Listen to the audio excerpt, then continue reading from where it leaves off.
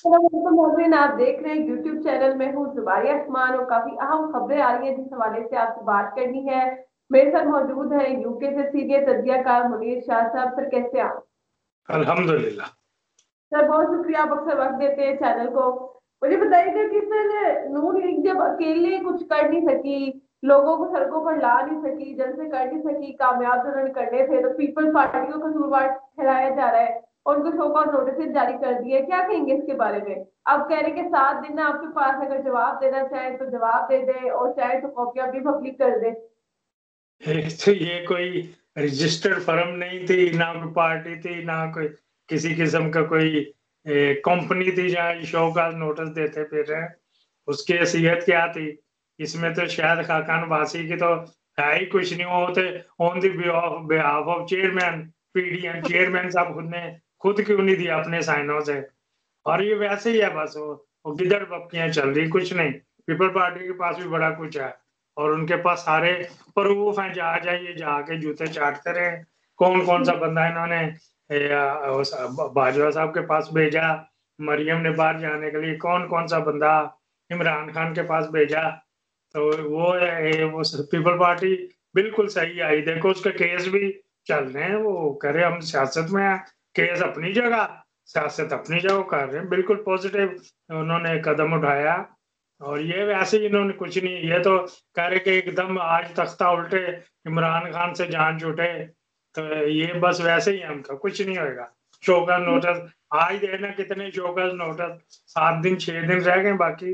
इन्होंने भी उसको देना है कि पंजाब में क्या चीज़ चला था और उनका फरतुल्ला बाबर इतना सीनियर जिसकी चालीस साल की पॉलिटिक्स है इसमें पीपल पार्टी में वो हार हम्म। गया वो किन वजूहत से आ रहा है मौलाना साहब ने किस तरह मेल मिलाप करके उसको हरवाया अपना हम्म। बंदा जितवा लिया आखिरी दमों पे अपने भाई को तो इनका बंदा आउट करवा दिया जिसकी की बहुत खिदमात है पीपल पार्टी में और फरतुल्ला बाबर शरीफ बंदा है वो ये हम्म। नहीं जिस तरह इन्होंने डाकू डकिया सारे भेज दिए सेनेट में तो वो बिल्कुल शरीफ बंदा तैरवा दिया इनके पास भी बड़ी चार्जशीटें हैं। ऐसी कोई बात नहीं और उनको पता कि मरियम कहाँ कहाँ से दरवाजे खटखटा रही है। जरदारी के पास अभी भी बंदे हैं और पलवशा है ना पलवशा को जानते पलवशा खान को? उसके हम्म। खामन को जानती हैं आप? उसके अभी भी लिंक है वो, वो सारी खबरें देता है। तो वो, हम्म। वो ऐसी कोई बात नहीं वो इनके पास है कुछ नहीं होगा ये बात इस तरह ही सीट लहदा लेके बैठ जाए बैठ जाए। वो जो तीन बंदे हैं वो भी कहते हैं हमारी सीट लहदा करो उन्हें. अपोजिशन में बैठा हुआ कल वॉकआउट भी कर गए थे।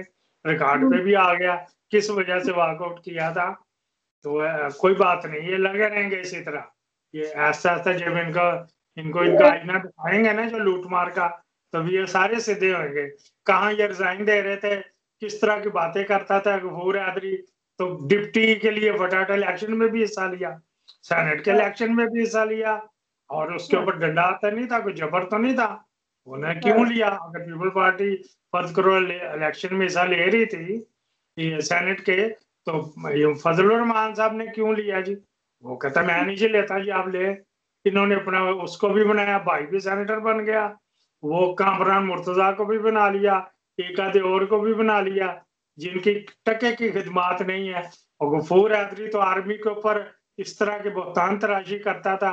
फिर ये उनके जूते भी चाटते जी मुझे बनवा दो मुझे बनवा दो। यहाँ से डिप्टी चेयरमैन बनवा दो फिर वो हार गया।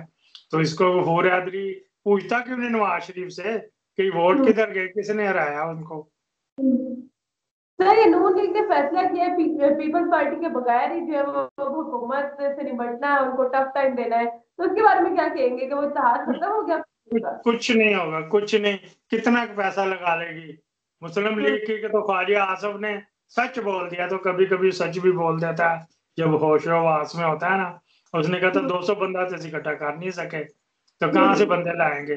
कितने कितने लोगों को दिहाड़ीदार को कहाँ से ये लाएँगे? लोग मुस्लिम लीग के तो बंदे निकलते ही नहीं पैसों के लिए निकलते हैं। पटवारी जब ये बरसरे इकतदार होते हैं उस वक्त इनके जुलूस बड़े बड़े होते हैं। वो पुलिस और पटवारी कल्चर जो है वो आला आता मजबूर होते हैं लोगों ने पटवारियों से जाना होता बड़े बड़े लोगों कहते बंदे लाओ कितना पैसा लगाएँगे जो इन्होंने आराम कमाया इसी तरह ही जाएगा ना पाकिस्तान में तो नहीं लाए पाकिस्तान की वाम को तक खिलाएँगे कुछ नहीं कर सकते। फजल रहमान साहब के पास है वो बिल पड़ा हुआ है ये बच्चों को इस्तेमाल जब करेगा उसी वक्त ही बैन हो जाएगा। अब ये जो इनकी इसने फोर्सेस बनाई हुई अपनी उसके ऊपर भी बैन लग जाएगा।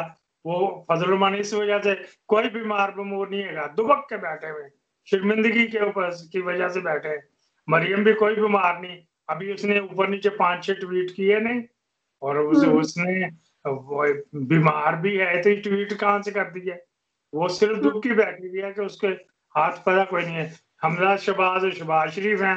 वो कहते ठीक है हमारे केस चलने तो हम पॉलिटिक्स करेंगे। और हमजा दो दिन से डेली आता जाता है डस के वो जाकर अपनी कंप्लेन कर रहा है। वो उनमें और जरदारी में अंडरस्टैंडिंग भी है और पंजाब गवर्नमेंट कहीं नहीं जाती कुछ नहीं होगा उसको जरदारी ने कह दिया कि पूरे करे वो।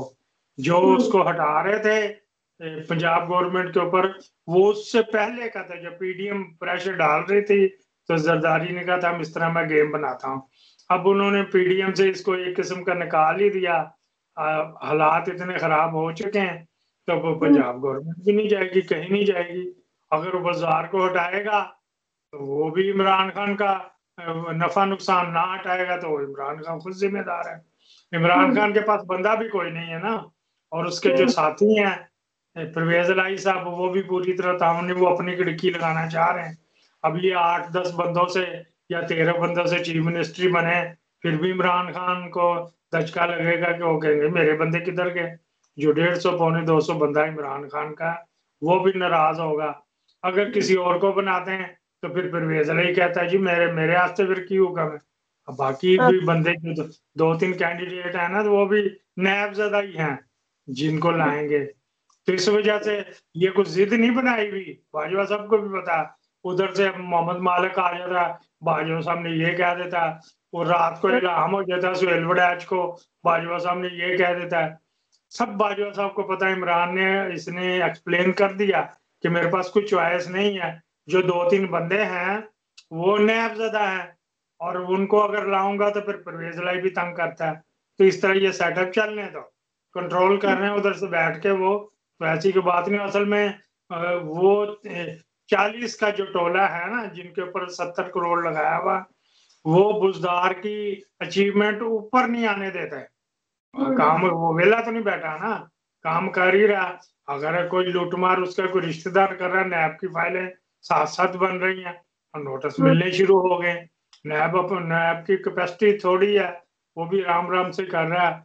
अब तो हम्म। इनको चाहिए था कल ही बना देते या प्रेस रिलीज़ आ जाती राणा सना के ऊपर कि हम सुप्रीम कोर्ट जाएँगे। लेकिन उनमें इतनी भी नहीं है। हम्म। सारे जो प्रोसिक्यूटर नैब के भर्ती किए हुए वो राणे ने भर्ती किए हुए लाहौर के जितने भी हैं। और जो हम्म। मेजर शहजाद सलीम है डीजी नैब लाहौर वो शबाज शरीफ ने भर्ती किया हुआ। तो उनको हम्म। भी कोई रख रखाव देखने पड़ते हैं तो कुछ मजबूरियाँ होती हैं काम हो रहे हैं। अब ये केस जो खुल गए ये जान नहीं छूटेगी। जिस तरह जरदारी की स्विस अकाउंट से जान नहीं ना छूट रही इस तरह इनकी भी नहीं छूटेगी। बिल्कुल केसेस खुल चुके हैं और अब देखते हैं आगे जाके जो है ये पीडीएम किस तरफ़ जाके इनका रखता है। वो चूँकि आपने वक्त दिया इतला दोबारा तक करूँगी। अल्लाह हाफिज। अल्लाह